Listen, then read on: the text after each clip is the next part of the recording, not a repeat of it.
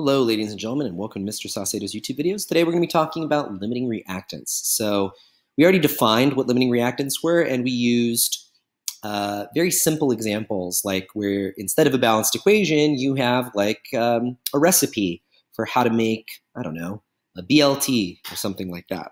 And then the whole point is, can you, if you're given amounts of things, figure out how many BLT sandwiches you can make? Well, even though that's practical, uh, the way that we use that in chemistry is by starting with uh, a balanced equation and having different reactants, and then which reactant are you going to run out of first? And the way you figure that out is by using the bridge method, which there's another video on, right? And so, in case you forgot the steps, these are the steps to the bridge method.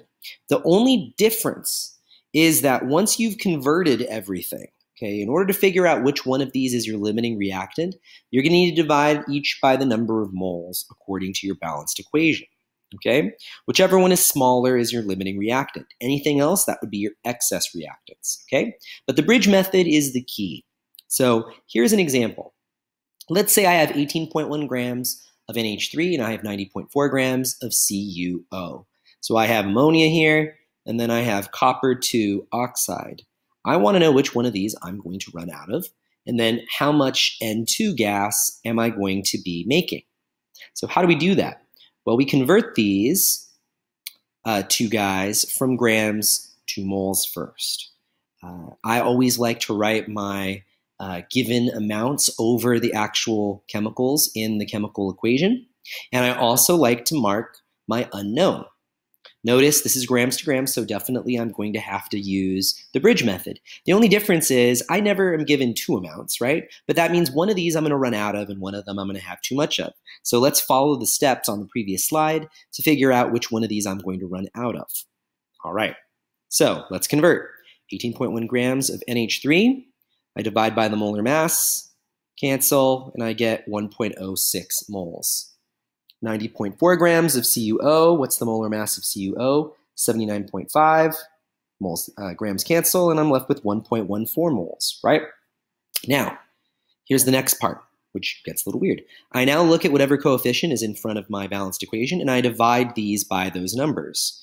So this gets divided by 2 because there's a 2 in front. I get 0.53. This gets divided by 3, so 1.14 divided by 3 to get this. And now I have my limiting reagent or limiting reactant, whichever one is smaller. Now notice, right, that I started with more grams of this, but it ended up being my limiting reactant. This is why we do these types of calculations. Because if I'd said, hey, get 18.1 grams of this and 90.4 grams of this, and you know, I want to know how much nitrogen you're gonna make, almost anybody would say, oh, well, of course you're gonna run out of this first because there's less of it. The only problem is, remember, we have to convert these from grams to moles because a mole of this stuff is very different than a mole of this stuff. Okay, so that's how we find the limiting reactant. Now, that means I use this number, I can erase and ignore that number. So now I'm just going to build my bridge. I'm going to go from grams to moles, use my mole ratio, and then from moles back to grams. Let's do that. And remember, it's three steps. So I have 90.4 grams of CuO. I already did the first step, right? Right here, molar mass. What is my mole ratio? Looks like it's a 1 to 3. And then I need to know the molar mass of N2. That would be 14 times 2, which is 28.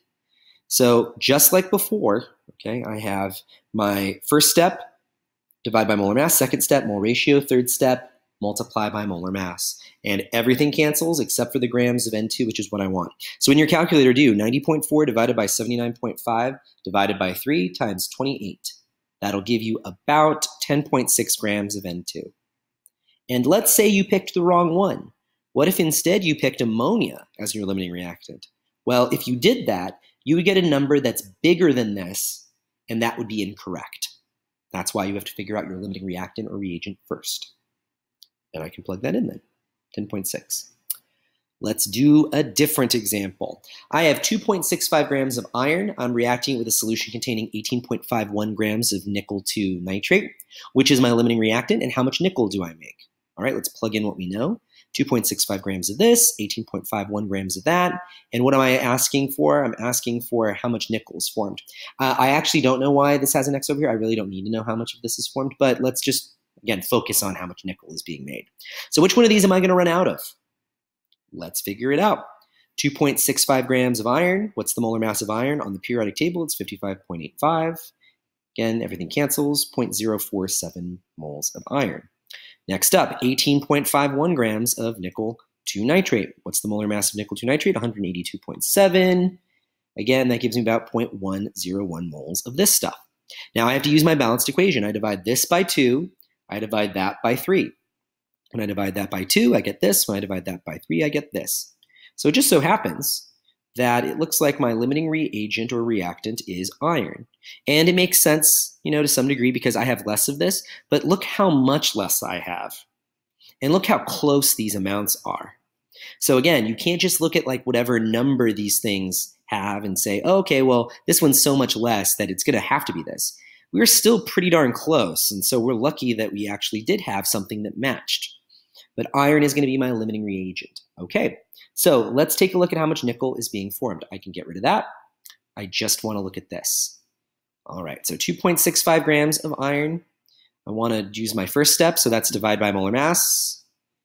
Do my uh, nice balanced equations mole ratio, so that's a 3 to 2. Right here, there's the 3, there's the 2. And then what's the molar mass of nickel? It looks like it's 58.7. So everything cancels, and I'm left with 4.18 grams of nickel. Okay? And if I wanted to, I could also figure out how much iron 3 nitrate there is. And in fact, you know what? I will show you that. Just feel free to try to do this on your own because it's the same exact process. Just make sure you use this amount of iron. We can't use this amount of nickel nitrate because, well, it would give us excess. So let's see. So I guess I'll plug that in, 4.18. Let's do the rest. So notice the first step's the same. Mole ratio is different. It's a 2 to 2. And then I have my crazy high molar mass because this is iron 3 nitrate, and so it's a huge number. And then that would mean I would make 11.5 grams of this iron 3 nitrate. All right, that's how you find limiting reactants of you know any chemical that you could be given inside of a chemical equation. And also how you can figure out what the amounts would be that you'd be making if you were doing this for real in a lab. All right, hopefully you found that